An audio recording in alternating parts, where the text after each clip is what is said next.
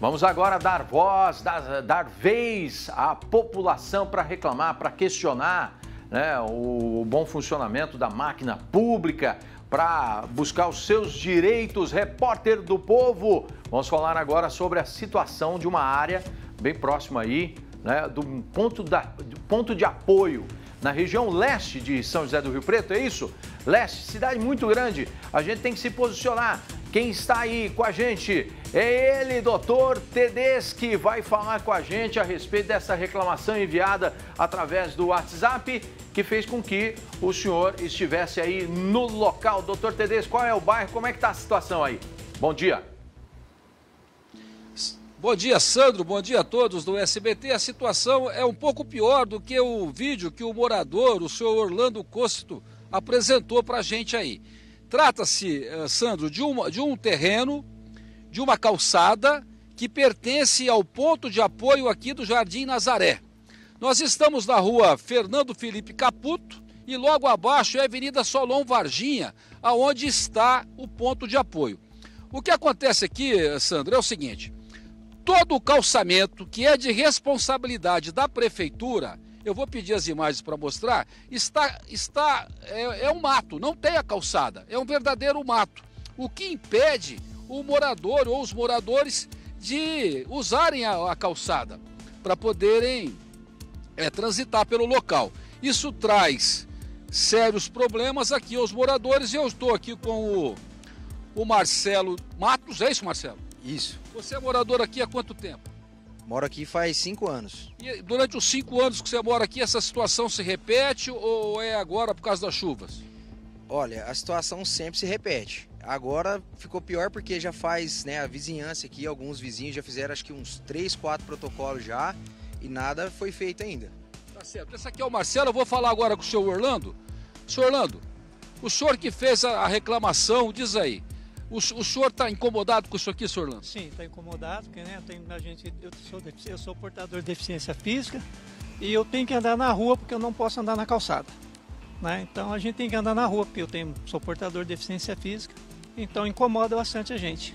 E o senhor não pode realmente andar na calçada porque a calçada é intransitável. Faça favor aqui, eu tenho mais uma outra moradora, Sandro, que é a Daniele Polizello, é isso? Isso, Daniele Polizelli. Daniela Polizelli, você é moradora aqui de Fronte? Isso, faz 16 anos que eu moro aqui e 16 anos se repete isso aqui sempre, nunca foi feito nada, a gente liga, reclama, ninguém faz nada. E é um descaso porque é da prefeitura. A prefeitura cobra tanto da gente, né? E não faz nada. Então, assim, a gente está pedindo ajuda, né? Que, que eles venham, façam alguma coisa. Tá certo. Tem um outro morador aqui, Sandro, que é o, o senhor Kleber Molina. Senhor Kleber, faz sabor aqui. Senhor Kleber, essa rua passa ônibus? Passa. E o ônibus causa aí um certo risco ao morador que precisa tra transitar por aqui. Lógico, é. Não tem calçada, não tem nada, só tem mato, que sujeira. Isso aqui eu já fiz quatro pedidos para a prefeitura para vir fazer essa limpeza aqui desse terreno. Inclusive, os bueiros, roubaram até tampa de bueiro aqui já. Já foi pedido também quatro, já fez quatro protocolos, até hoje não fomos atendidos.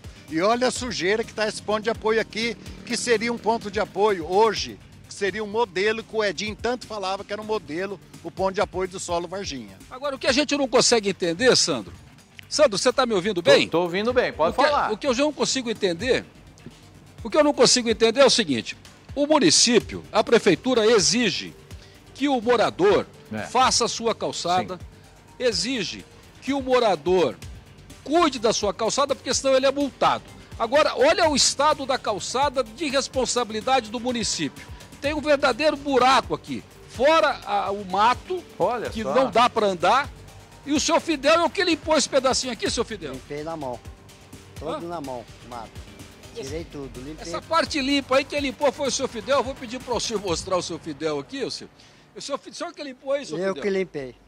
Então, eu vou pedir, seu Fidel, o senhor que o senhor limpou, anda na parte limpa ali para a gente ver e, e, continua andando aqui. Vem para cá agora, seu Fidel, vem andando aqui. Como é que faz para o senhor continuar pela calçada? Não passa, seu Fidel? Olha, olha o buraco que tem aqui nessa calçada. Você filma aqui. Isso aqui essa situação, se é na casa de um contribuinte, de um munícipe, o fiscal da prefeitura já tinha notificado para o cara dar um jeito.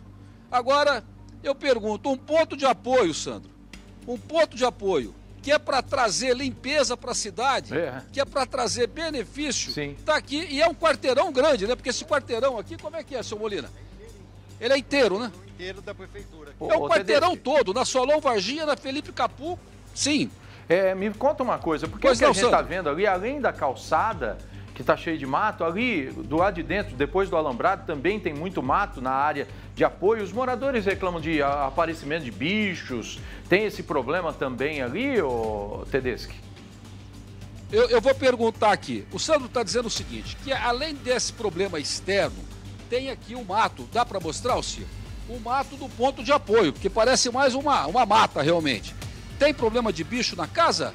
Muitos, muitos. Escorpião, rato, tem, é, e a população está jogando cães mortos aí, gato morto. Aparece de tudo aqui. Um, tá um inferno isso aqui. Ô Sandro, aí traz um outro problema, porque aonde você vê aquela, aquela vidraça quebrada, alguém passa e taca mais uma pedra. Sim. Então o que acontece? Como está abandonado pela prefeitura, alguns moradores acabam jogando lixo. E a gente pode observar o lixo do outro lado do ponto de apoio.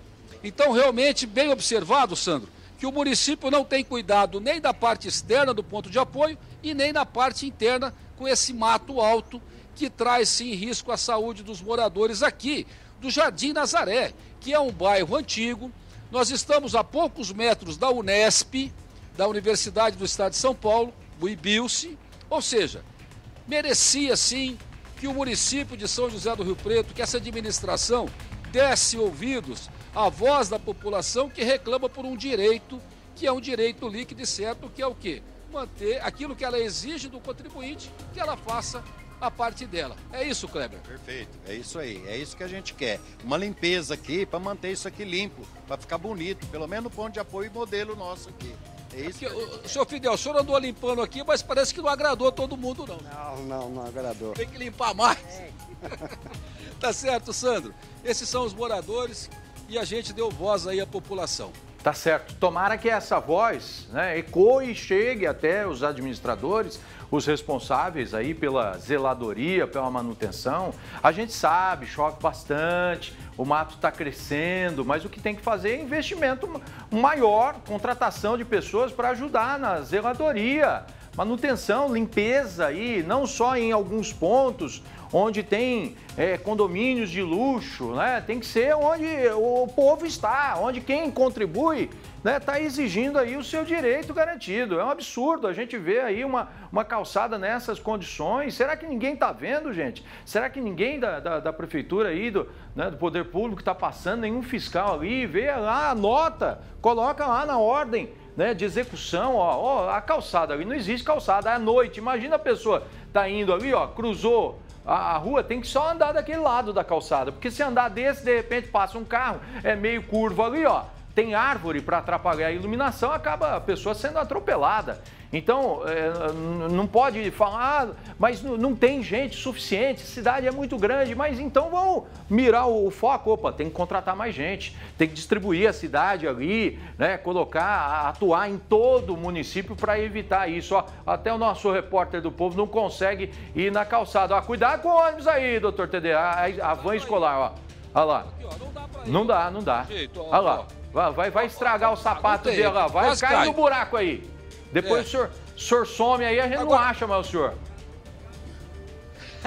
Ô Sandro, e dá para subir nesse lugar aqui, viu, Então, vai saber Agora eu vou dizer dentro. uma coisa, Sandro. O, o, maior prazer que a gente vai ter, Sandro, é. o maior prazer que nós vamos ter aqui no SBT, no Repórter do Povo, é mostrar isso aqui depois que a prefeitura solução, solucionar. É isso. Fica o nosso compromisso aí com o município, né? Que dando a solução a gente volta aqui e mostra solucionado. Tá certo então. Muito obrigado, doutor Tedeschi. E você de casa tem uma sugestão de reportagem? Quer botar a boca no trombone, quer chutar o balde? Manda pra gente aí, ó. 17981278656 de toda a região. Existe problema? A gente mostra aqui e cobra as autoridades. É esse o nosso papel, tá bom?